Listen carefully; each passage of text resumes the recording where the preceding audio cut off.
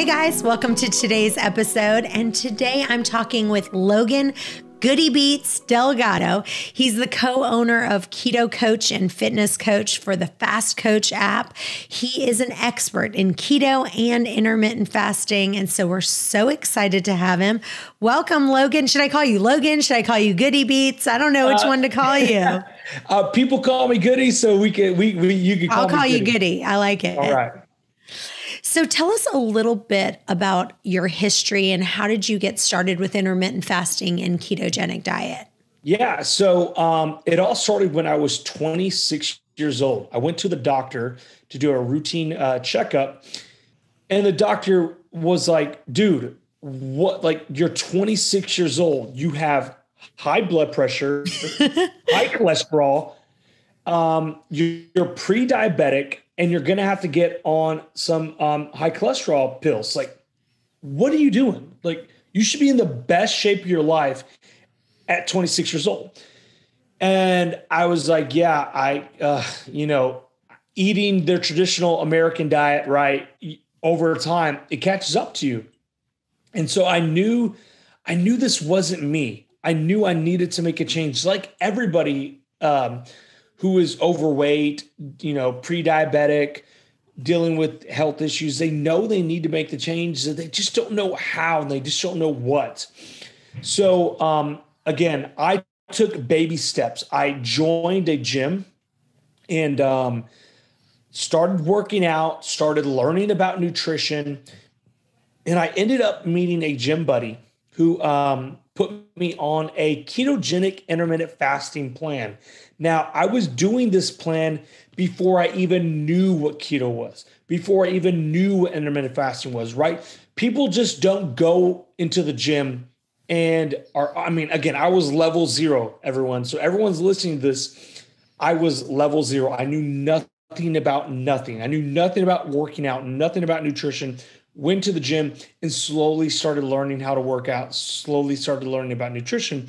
And then my my my gym buddy put me on that plan and I got amazing results. I got super lean, super shredded, and people are like, "Oh my god, like what are you doing? Like wh- how did you do this?" And I'm like, "I don't know. I just followed this this plan and he you know, he says to eat beef and broccoli and butter and I don't eat till 1 and I got to have my last meal at 9 and I drink, you know, you know, and people are like, "Oh my God, you're doing the ketogenic diet, intermittent fasting." I'm like, uh, "Yeah, yeah, that's what I'm doing."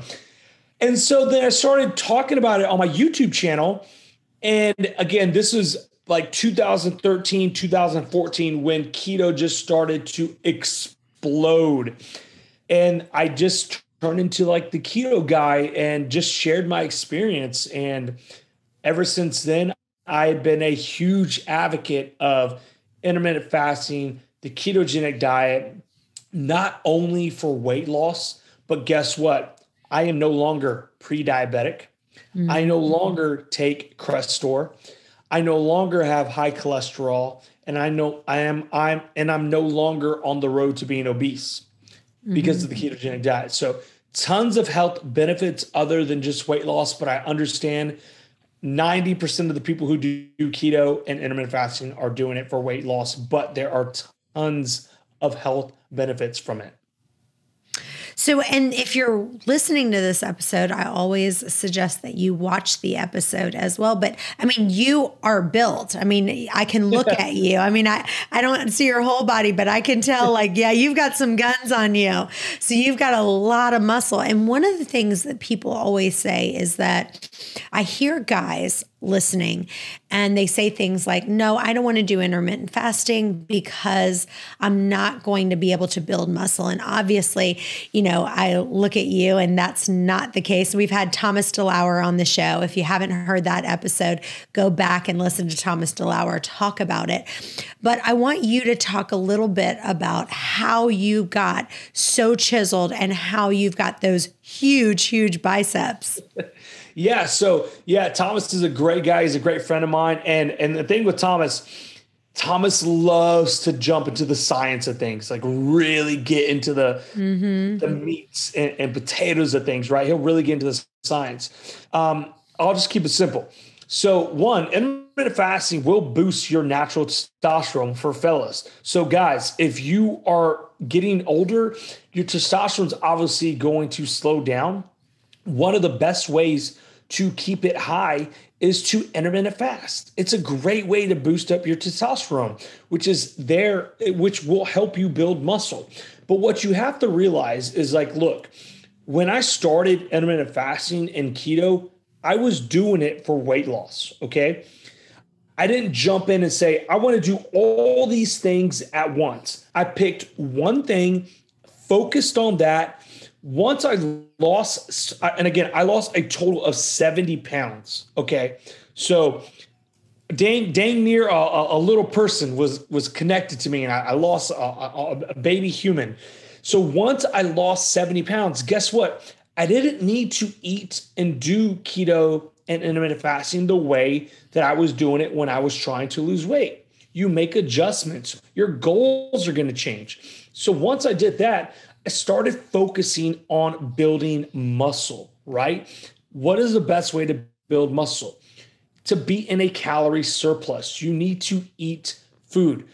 Just because you're intermittent fasting doesn't mean you need to have low calories. At the end of the day, eat high protein, which again, a lot of people don't like to do, or say, come up to me all the time in the gym, Logan, how do I build my guns up like yours? How do I build muscle?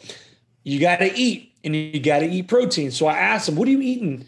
Oh, well, you know, I have a little bit of this, a little bit of that, a little bit of this for dinner. And I'm like, okay, you're eating nothing. You need to eat to grow. So having high amounts of protein, also training um, the way that you need to be training, progressive overload, that's going to be part of it. Making sure you're getting enough sleep and also incorporating, again, you don't have to do intermittent fasting, but yes, intermittent fasting will help because it will boost your natural testosterone. Doing all those things will help you build muscle. It's never one thing, right? People always want to say, it's one thing. It, it's it's a variety of things, right? Making sure you're getting enough sleep, making sure you're eating the right foods, making sure you're eating enough protein, making sure you're training the way you need to be training. So many times I go into the gym and this is what everyone's doing. Mm. Okay. Well, time for my exercise. And for those who are, aren't watching, what I'm showing is people are in the gym on their phones all the time. In between sets, they're on their phones right? They're on their phone for about a minute to a minute and a half. You're losing your intensity, you're losing your focus. Go into the gym with a purpose, go in there with the passion. Get off your phone. And if you are going to be on your phone, use it to find the next song that's going to motivate you or push you through the next set. Um, mm. But yeah, that that is what it's all about. Is just going in there and doing the right things that you need to be doing uh, and again, it's not going to happen overnight. Um, I have been doing this for eight years. I have been training bodybuilding for eight years. And um, so understand to be patient. It's not going to happen overnight. And so I know a lot of people, they want to lose weight and build muscle at the same time. Can you do it? Sure, you can. Is it very hard? Yes. I always say focus on one thing at a time. Mm. I love that. I want to talk about some keto foods that you love and a little bit about keto snacks that are whole foods. One of the things that drives me crazy is when I see people eating kind of these keto snacks that are just completely filled with so many chemicals. And so instead of eating things like, you know, celery and cucumber and carrots and, you know, cheese or eggs or nuts and you know, avocado and things that, you know, are a little bit more, you know, going to fill your body with good good foods, they're kind of filling their self up with some of these keto snacks that maybe are filled with chemicals. Talk to yeah. us about that. Yeah. So I always joke around with people because um, when I started keto, it was in 2013 before keto was popular, right? So I always say, oh, you know, when someone's starting keto nowadays, I'm like, oh, you know, back in my day, there were no keto treats. There were no keto pizzas, keto ice cream, keto muffin, keto cookie. The list goes on and on and on, right? There's literally keto everything now. Yeah. Um, and there wasn't it wasn't like that when I started. You had to be very very creative. Um, but yes, there are so many keto treats, keto friendly products out there that are just filled with processed junk, chemicals. Just just take a look. Take a look at the ingredients. If it has more than three, four, five, I, I stay away from it. I, I try to my best to stay away from those things. I want to keep it simple. Me, if I'm going to snack, and that's another thing, I don't believe in snacking. Mm. Okay. Um, I believe I in eating meals. Okay. Um, snacking is something that we have got in our heads as a society that is normal, and it's really not, especially when you're doing intermittent fasting. So, if I am going to snack, or let's say I'm on a road trip where I'm not going to be around a kitchen cooking and uh, I want to eat something, I'm going to stick to like beef jerky. Very clean source of beef jerky, um, not Slim Jim or Jack's Links beef jerky that are just filled with sugar. I'm going to keep the beef jerky very, very clean, which salt and meat. That's mm-hmm. it. Uh, protein. Protein is going to keep you full. Protein is going to keep you satiated. So you don't need to keep snacking. That is always, always my go to when it comes to snacking is find a protein source. Um, and I, tr- yes, again, is there some really good keto treats out there? Absolutely. Are they the best for you? Absolutely not. Um, but they do fit the keto friendly um, category. So just be very careful with that. Number one, um, if you don't have to snack, don't snack, just eat a meal. But if you do, stick with a clean protein source, is always my best recommendation. So, talk to us a little bit about how you stay motivated and what your role is as a keto coach or a fast coach. So, what would you be kind of telling people to kind of get them to stay on track? This is this is this is what this is my favorite favorite question of all time. So look, listen, if you're listening to this, if you're watching this, motivation is going to come and go. Okay. There are going to be days that we're like, let's go, new me, new year. It's January 1st. I'm ready to get up. Let's go. Then, boom, January 10th comes. It's cold. It's snowing you're over this, you're over eating healthy, you're over going to the gym, you're over going doing this cardio. That is when discipline comes in. You need to build discipline. Discipline over motivation, right?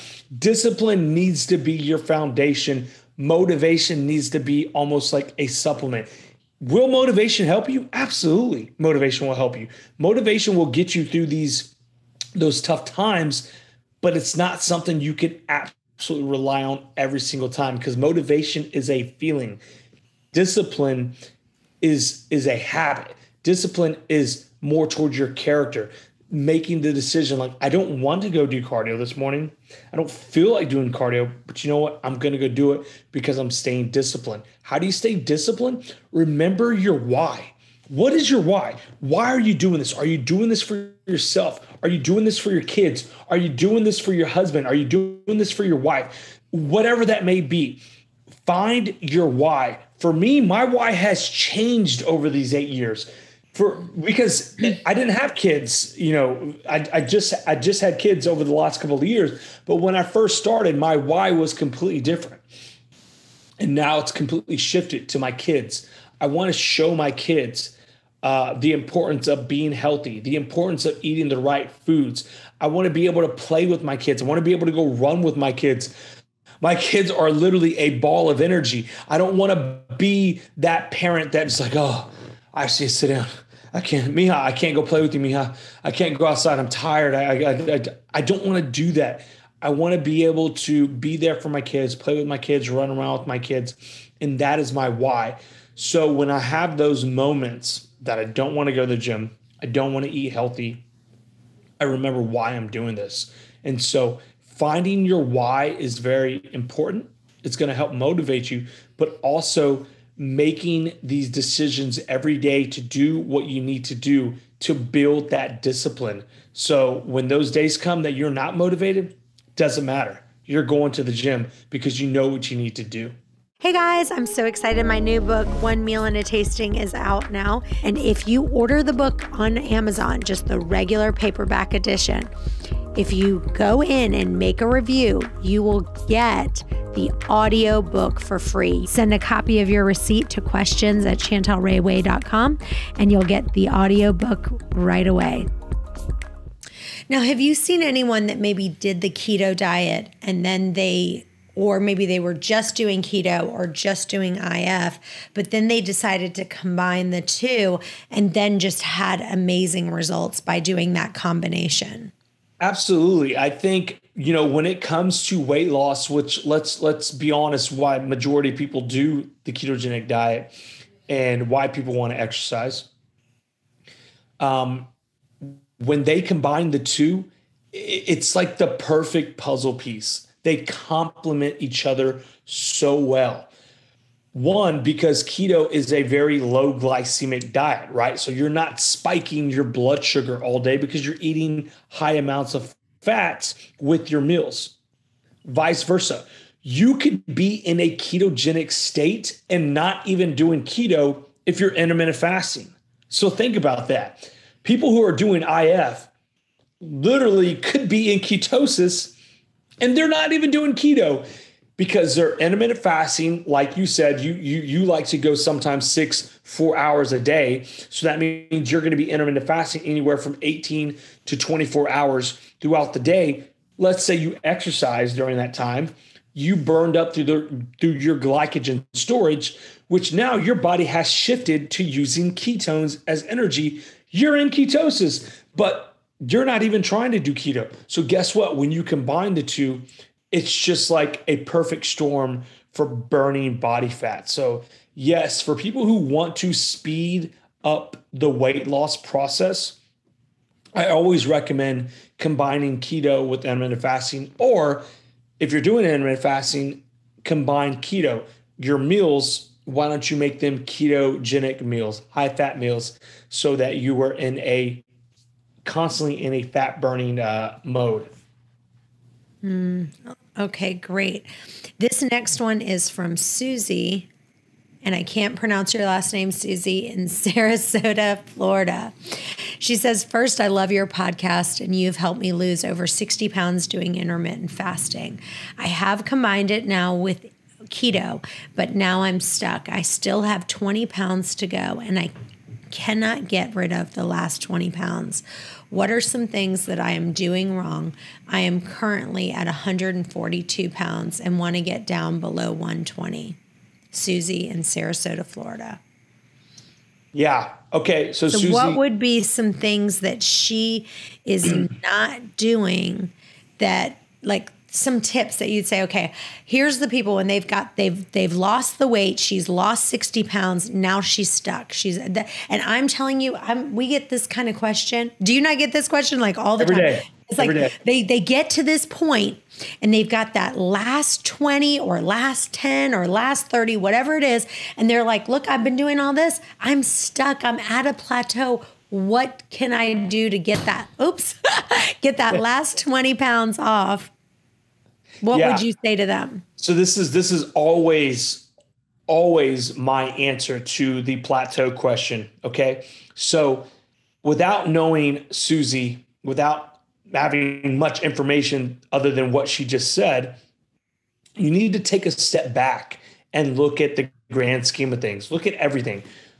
What people think you know when they hit that plateau, I'm I'm eating this, I'm training this. Okay, but what else is going on in your life? Are you stressed out? Are you getting enough sleep?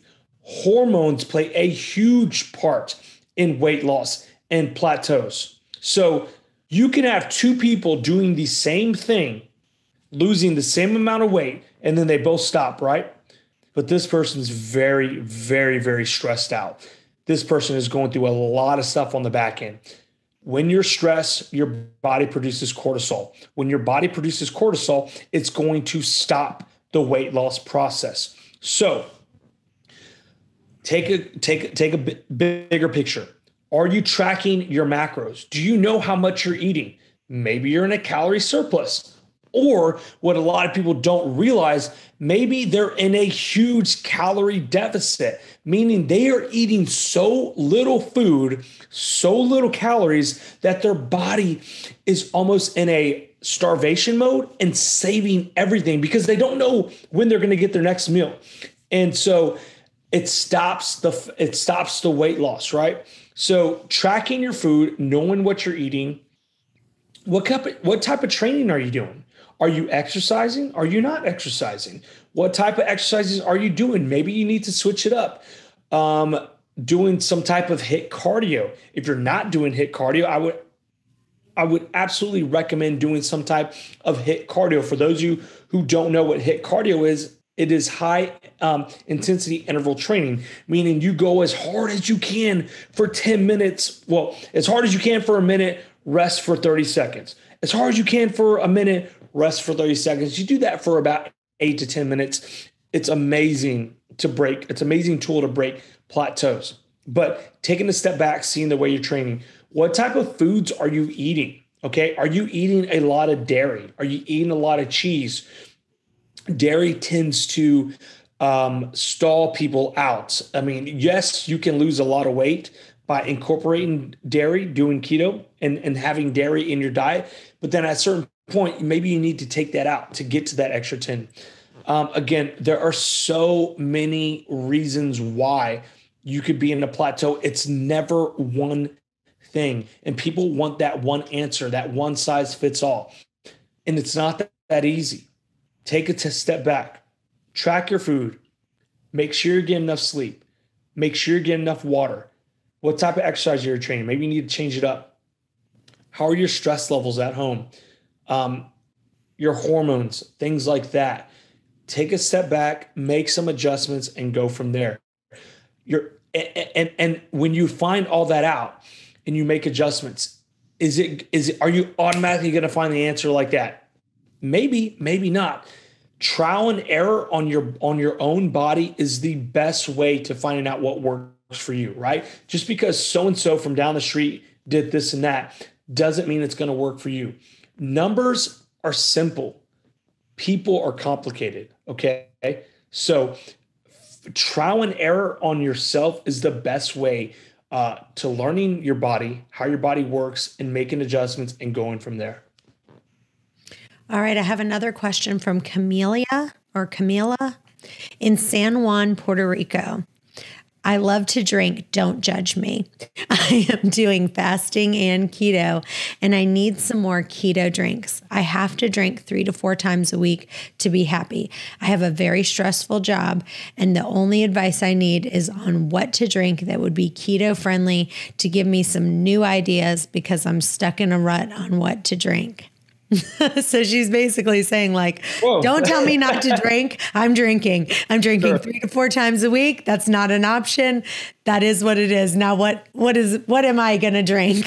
So first of all no no no judgment whatsoever. It's funny when um when i do keto when i was you know really hardcore keto people always ask me what logan you don't miss like hamburgers. You don't miss pizza. You don't miss donuts. I'm like, heck no, I don't care about that stuff. You know what I miss? I miss my damn beer. That's what I miss the most. Mm-hmm. So absolutely. Um, okay. So look, to, just to be completely honest, there is no alcohol that is keto friendly. Theoretically, keto friendly. Okay. Because alcohol is going to convert to sugar. And so it's, it's, it's just, there's no such thing as a keto beer. Um, so you, you you have to look at it as like these are your best options if you're doing keto. Number one, any low carb drinks, right? Like a Michelob Ultra, a Miller Lite, things like that that are very low carb. Um, if I have a client who wants to drink the best option. Now you got to be very careful because you what you have to understand is when you have been doing keto for a very long time and you introduce alcohol you will get drunk very quick. So please needless to say don't drink and drive. Prepare for whatever you're going to do. Um, But sticking with hard liquors, with water, are a um, a diet coke or whatever diet drink or club soda uh, that obviously has no um, it's just carbonation, right? Just carbonation drink with no sugar in it, uh, uh, like vodka, um, whiskey, hard liquors are probably going to be your best bet. Um, but yeah, just anything low carb is going to be is going to be friendly. I know something right now. What's very popular is um, seltzers, low carb seltzers. It seems like everybody is doing them, um, and so you can stick with that. But again, yeah, I mean, just there's so many options out there. I just stay, stay, stay um, away from anything dark. Mostly, like you know, the the the the the darker the beer, the more calories it's going to have, the more carbs it's going to have. Stick to light, low carb drinks, and you should be fine. And then hard liquors as well. So I'm not a big drinker. I've never have been just because I like to, I'm the opposite. So like if I have my choice to eat my calories or drink the calories, I'd rather eat them. And mm. so, but so last year I literally could count on my hand how many times I, I drank four times last year, all through. Wow. Um, but this year so far, I've actually drank three times so far. and the reason is, is because I found this drink it's actually a low carb margarita. And the reason why I don't, another reason why I don't drink is because I go so fast and so hard all day that I need to wake up the next morning and feel like a million bucks.